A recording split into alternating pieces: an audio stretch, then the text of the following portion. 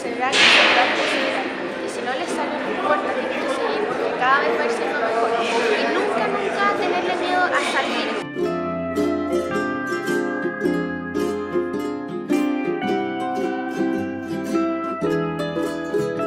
Una buena experiencia, nuevas cosas en la vida, una etapa, por eso.